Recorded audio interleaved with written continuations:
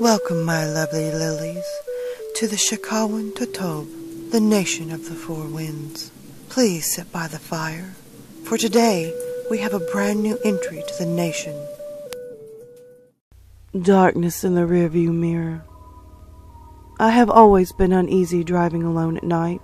It was the worst the first few times when I had just gotten my license, but the nagging fear has never gone away to this day. It's disorienting to look into the mirrors and see nothing, and I mean nothing but the consuming blackness of the night. It makes me hesitant to check the mirrors. Should I see this dark void, or worse, someone sitting in my back seat staring at me? In 2003, I found myself driving home alone on Highway 902 from a party. It was almost midnight, and needless to say, it was pitch black. As was usual at night, I was on edge. I had the radio off and could hear nothing but the muffled roar of tires on pavement and the dull hum of the engine. I stole a glance into the middle of the rearview mirror and saw nothing but darkness through the black window.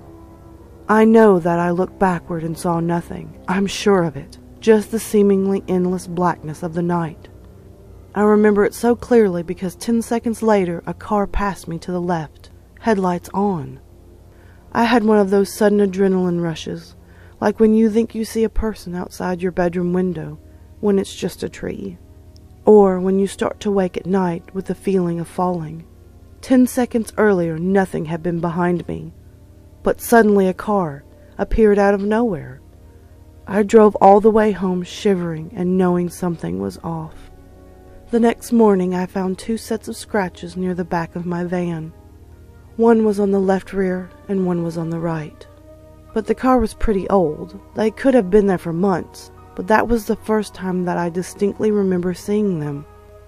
In hindsight, there are two possibilities for what happened that night. Possibility 1. By some glitch in reality, or something paranormal, this other car had somehow appeared behind me within 10 seconds of me checking my mirror. Like some weird ghost thing or something.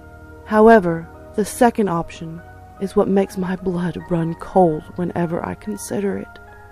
It didn't even occur to me until months after the fact, but it makes me dread driving alone at night even more.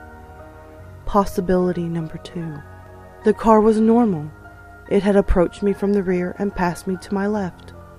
However, something large and wide and as black as the night had been clinging to the rear of my car obscuring my view through the window and leaving deep scratches on the sides. And I had inadvertently drove it home with me.